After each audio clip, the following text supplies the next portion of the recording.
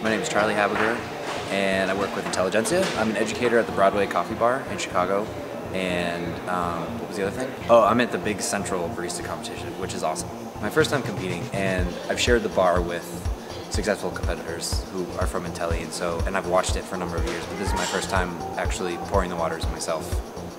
I've always really enjoyed tea ceremonies, and um, I, it was an experiment at first that I wanted to sort of deliver the espresso in the way that you can tea in these aroma cups when you're doing a particular tea ceremony. Um, turned out to work really well.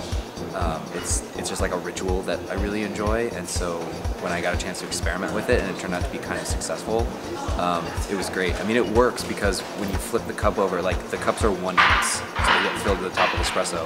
The crema is really deep, and when you flip it over, the crema actually stays inside and just a little bit of liquid leaks into the bowl. But when you pull it up, all the crema just pops back out again.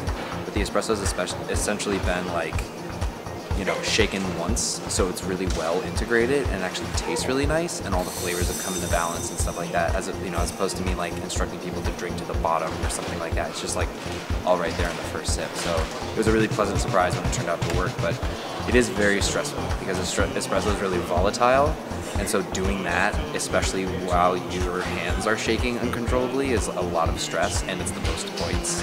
Um, but it was a risk that I think was totally worth taking because it was a lot of fun.